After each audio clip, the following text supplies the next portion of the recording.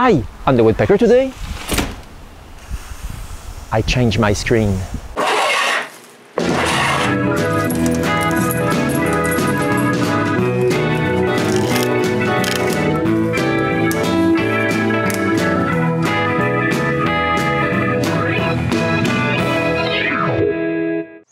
If I look outside, I can see several signs of spring. Not just the buds in the trees, but also the dandelion invasion. This means that we'll open the patio screen door more often. But it's a little bit bashed. It's not really useful to keep the bugs out. But when someone has a dog, this happens quite often. I know what you're thinking. Alain, this is not a dog, it's just ugly vermin. Okay, you're right. But don't forget that I used to have real dogs. I know that this nuisance will have more trouble moving from inside to outside, but what can I say? Tough luck.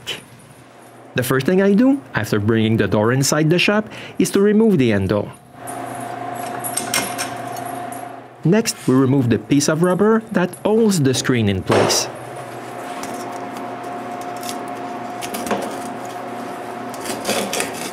When it's all done, we can remove the old screen. No, I won't throw it away. It will be useful when I'll make more windows at my cottage. But the frame is awfully dirty. We need to do something. Then we can roll the new screen onto the frame. Next, I can start to mold the screen so it can fit into this channel. To do so, I need a tool like this one. One side has a wheel shaped like an A, so it can bend the screen and the other side has a V shape so it can push the rubber in place. I begin with the top of the screen. I use the A-shape wheel and roll it on top of the top frame channel. The screen shape is more obvious here. Then I push the rubber in place using the V-wheel.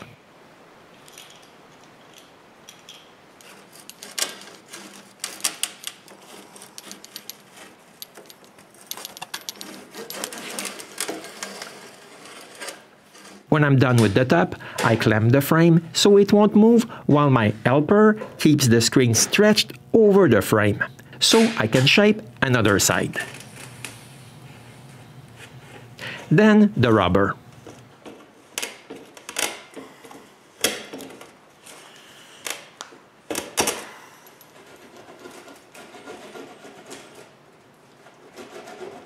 Personally, I find that the corners are the toughest part of the job.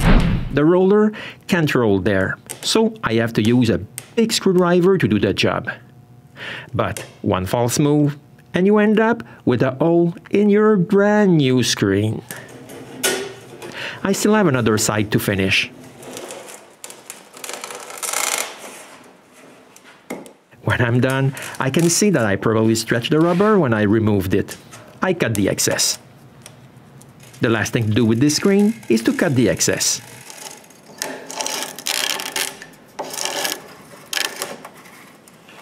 Now, if I were a normal person, I would be finished after screwing back the handle.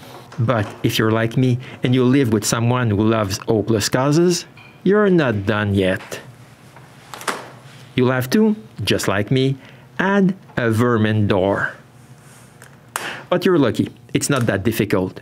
You just put it where it's supposed to go, on a hard surface. Then you push the pins through the screen. Then you put the other part of the trap on top and push its pins with a mallet.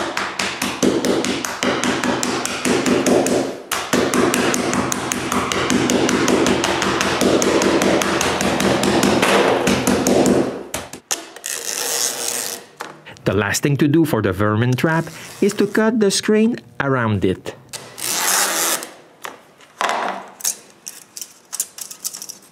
And don't forget to check if there's a wire sticking out. You don't want to hurt your spouse's rat. Then, the door can go in place. Now the hard part, trying to teach this stupid rodent how to pass through this trap.